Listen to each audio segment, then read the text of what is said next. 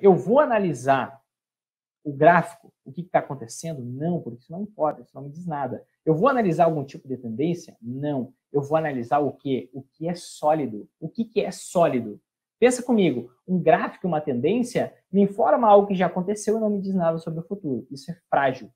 Frágil como uma pena. Se eu pegar na mão, eu esmago e pronto. Do nada acabou, mudou tudo, a realidade não está nem aí para nossa opinião, a realidade vem e se impõe.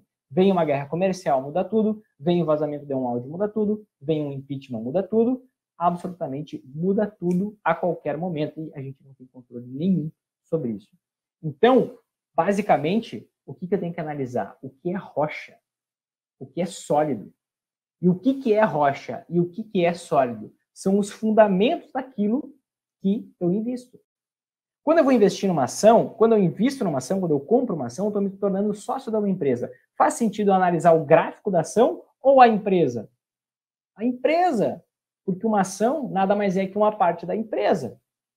Quando eu vou investir em um fundo imobiliário, faz sentido analisar o fundo imobiliário ou o gráfico do fundo imobiliário? O fundo imobiliário. Por quê? Porque o gráfico me diz o que já aconteceu, não o que vai acontecer.